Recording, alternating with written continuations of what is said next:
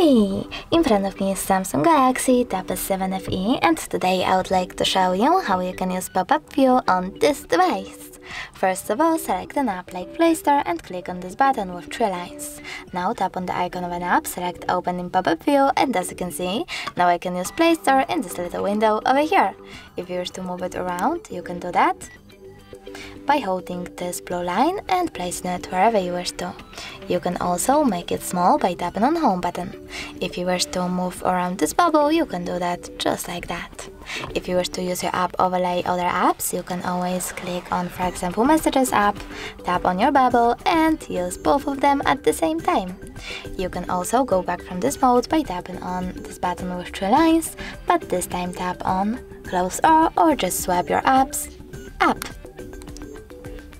Thanks so much for watching. If you enjoyed this video, leave a like, comment and subscribe. Bye!